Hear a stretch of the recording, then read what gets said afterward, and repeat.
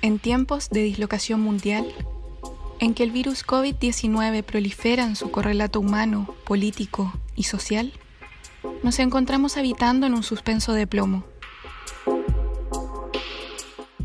La pandemia revela la cruda realidad de la condición humana, reducida a una cifra fría y engañosa. El relato del consumo persiste y oculta la miseria tras una máscara de felicidad artificial e hipócrita. Lo cierto es que llevamos una larga historia de confinamiento, distancia social y discriminación.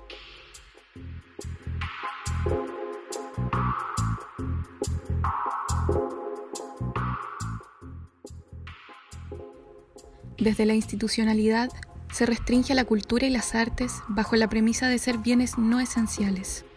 Triste categoría que desconoce lo esencial del arte en la condición humana y lo necesario que es, precisamente ahora, en una época de encierro, incertidumbre y sobrevivencia. Sin embargo, las y los artistas siempre generan nuevas y poderosas perspectivas. De este modo, el arte siempre es político y constituye un hacer legítimo y siempre necesario.